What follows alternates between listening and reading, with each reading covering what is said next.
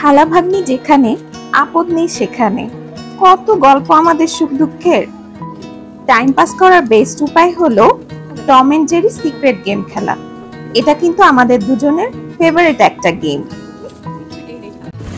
খুব শখ করে মুভি দেখতে গিয়ে পুরাই ডস খেয়ে গেলাম।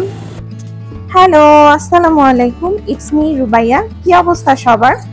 সুন্দর করে আমি সাজুগুজু করে রেডি হয়ে গিয়েছি মুভি দেখব বলে। বলা চলে ডস খাওয়ার জন্য রেডি হয়েছি আর কি। রিক্সা নিয়ে বের হয়ে গিয়েছি। এসে তো দেখি হাউসফুল তাই মিরপুরের সিক্রেট রেসিপিতে এসে বসেছি একটু লাঞ্চ করার জন্য। বসে বসে টাইম পাস করছিলাম বোরিং টাইম কপালটাই খারাপ। কি এমন আছে মুভিতে আল্লাহ জানে যে পুরা শো হাউসফুল সবগুলা। রাগের জ্বালায় ভাবলাম আর দেখবই না মুভি ওপরে কোক আর পানি নিয়ে এসেছে। দশ মুভি দেখতে যায়। মুভিতে কি এমন আছে যে প্রত্যেকটা শো হাউসফুল আর পরে দেখো।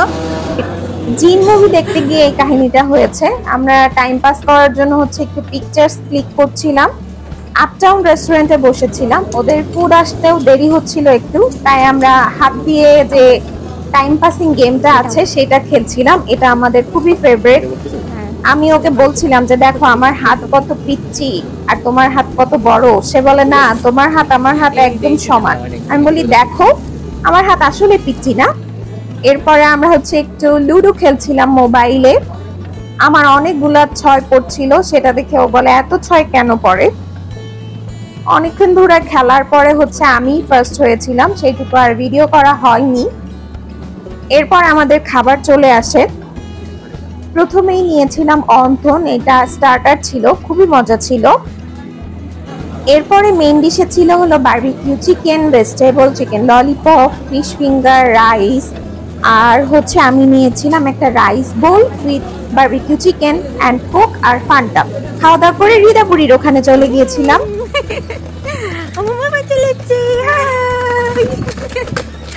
কোথেকে আসলো? বাসার থেকে ধরে নিয়ে আসছে বাপি আর বিবি, তাই না দিদা টাকাও বলো। তাই কোথায় যাচ্ছি আমরা এখন? বলো, ঘুরতে। আচ্ছা। রিদাপুরীকে নিয়ে আমরা চলে এসেছিলাম বিমান বাহিনী জাদুঘরে, কারণ মিরপুরের ঘোরার জন্য ফার্স্ট চয়েস হলো বিমান বাহিনী জাদুঘর। কিন্তু এখানে এত ভিড় ছিল আজকে, জানি না কেন। রিদাপুরি ফটোশুট করা হচ্ছিল এখানে।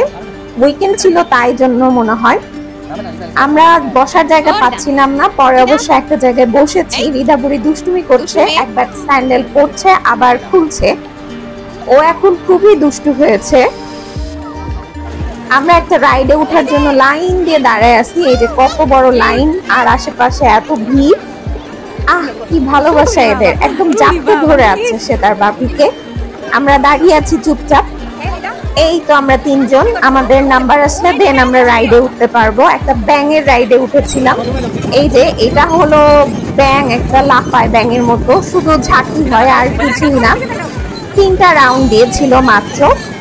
বেশি মজা লাগে নাই। মনে হয় ভিড় ছিল জন্য অল্পক্ষণ রাইডটা চলেছিল। আমার যা মনে হলো আর কি। তাও মজা পেয়েছি। এরপরে সে একটা হাতি দেখে এখানে দাঁড়িয়ে আছে উঠবার জন্য বাট জায়গা পাচ্ছিল না। রিদা তুমি জায়গা পাচ্ছ না? হ্যাঁ?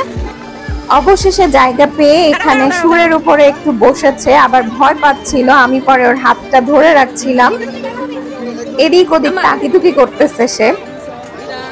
বাচ্চাদের দেখছিল আর কি। ওর এখানে পিকচার্স ক্লিক করেছি কিছু সুন্দর সুন্দর। এরপরে টায়ার্ড হয়ে আমরা একটু বসে চিপস খাচ্ছিলাম। এখানে সবাই চিপস খাচ্ছে। খাচ্ছিলাম আর আমরা একটু সুখ দুঃখের গল্প করছিলাম।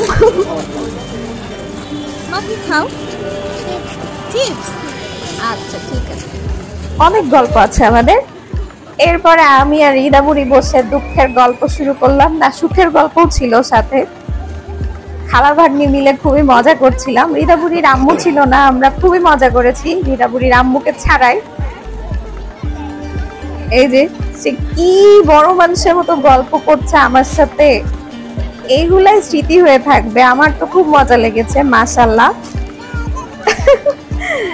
রিদাবুড়ির আম্মু তোমাকে আর লাগবে না, এখন আমরাই ঘুরতে পারি। অনেক মজা করেছি রিদাবুরির সাথে, আলহামদুলিল্লাহ। দুত্ত এখানে গল্প টল্প শেষ করে আমরা বের হয়ে যাব। এই তো এখন সে তার বাপির কোলে উঠে চলে যাচ্ছে আমিও যাচ্ছি সাথে সাথে। খুব এনজয় করলাম দিনটা। রিদা এখন বাসায় চলে যাব? বাই দিচ্ছে। এই তো আমরা শেষ ব্লগ